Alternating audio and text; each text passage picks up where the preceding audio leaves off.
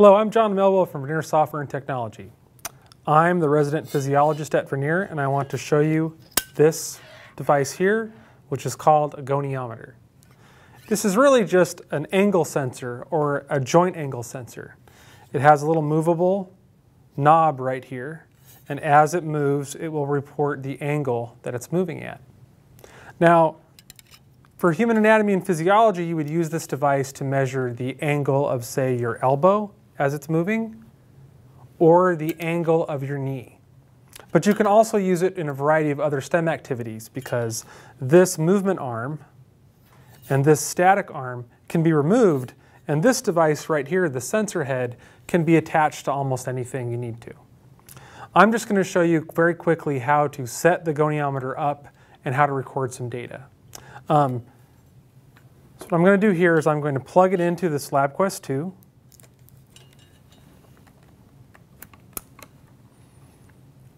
And you can see that it's automatically identified as a goniometer. It's going to be measuring an angle. And I'm just going to calibrate it here really quickly. I'm going to center this and make sure that the device is fully at 180 degrees so that it's all straight here in a line. You should be able to see a little pin right here. And I'm going to make sure that that pin is right next to this little pin on the device. And then I'm just going to tap here on the meter screen of this LabQuest. And I'm just going to say calibrate.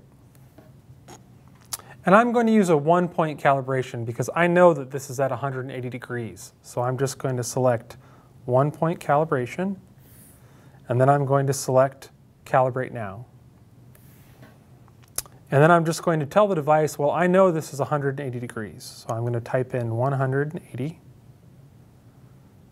And then I'm going to tap on the keep button. And then I'm just going to say, OK.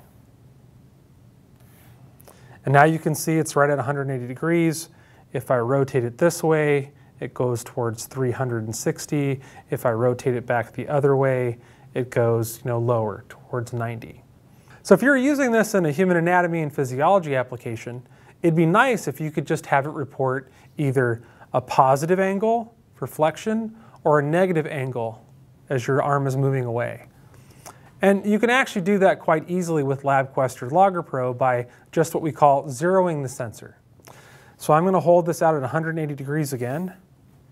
I'm going to tap on the meter screen, and I'm going to zero the goniometer.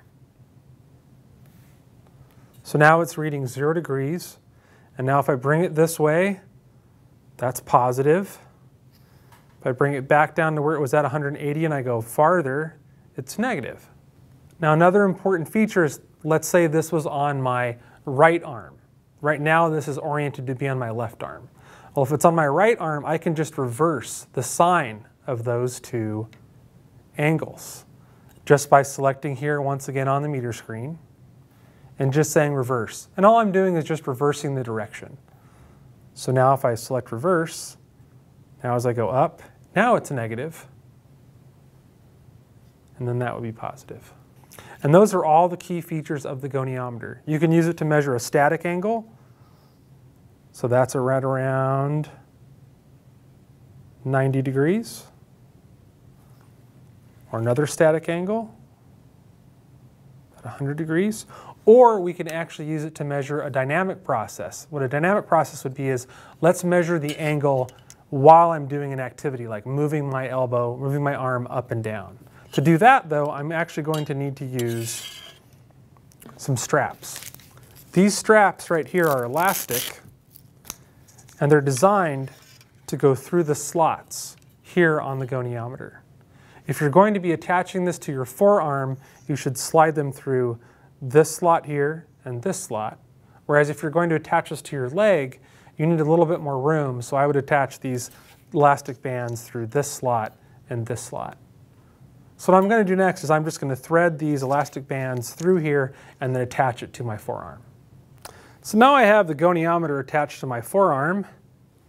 And you can see that it's going to show me the angle that my elbow is at as I move it up and down. Now, the reason why this is actually quite interesting is because a lot of people are interested in what we call muscle function analysis. And muscles can only contract. So when the bicep contracts, that's what causes the forearm to go up. You then have activity from the tricep, which causes the forearm to go back down. Now I can record both of those events using this LabQuest 2, a goniometer, and this EKG sensor. And what we'll be able to see is as I lift a barbell, this barbell, with my left hand, we should see that as I flex, there's more muscle activity as the angle gets larger. And then as I relax, there should be less muscle activity. So why don't I just show that to you really quickly here. So I'm on the count of three, I'm going to begin to hit data collection, and then I'm going to lift this barbell with my left hand. So here we go. So I'm holding it here, and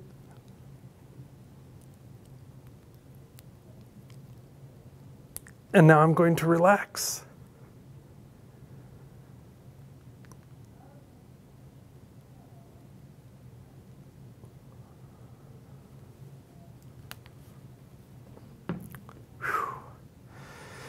And now as you can clearly see on this trace, as the angle goes up, that's my forearm flexing, you can see an increase in muscle activity.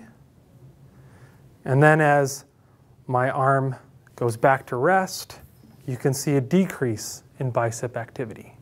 And if I were to have recorded the tricep at the same time, we would see the opposite phase of activity, where I would see an increase in activity during the falling phase and not as much activity in the rising phase.